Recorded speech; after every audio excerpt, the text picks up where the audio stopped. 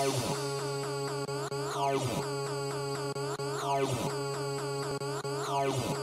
it going guys? I'm Brit Howell. I'm one of the owners of Vicious Auto Works. In this video, Tommy Moore and I are going to demonstrate how this body rotisserie works. Now mounted on the rotisserie we have a 1970 Chevrolet Chevelle Malibu.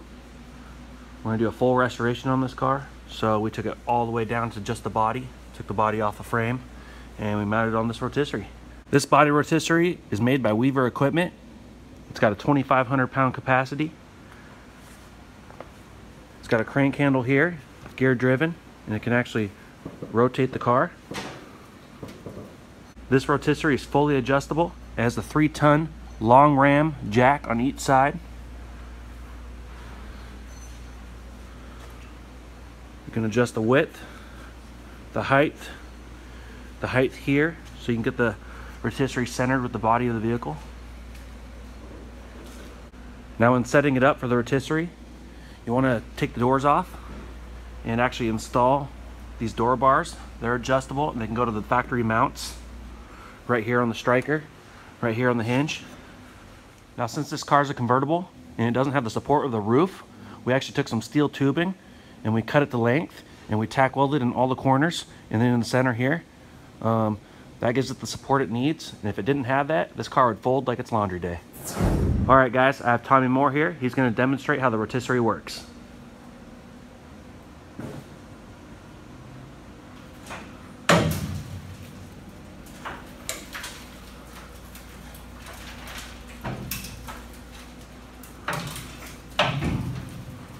don't get too intimidated by all the creaking and cracking of the car. Got plenty of support. A lot of what you hear could be old coins, dirt, a couple screws that you forgot in the car, leaves, pine needles, rocks. All that's gonna come out.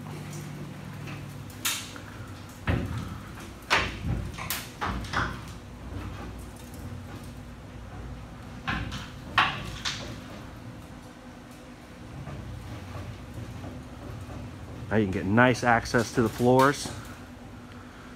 Do all your repairs as you need. Right there, we're gonna order a rear floor pan. We're gonna replace that section. We're gonna re-undercoat the whole underside of the car. There it goes, guys. Now, you don't need a rotisserie to do this, but it's just a much cleaner job if you have a rotisserie to do a repair like this.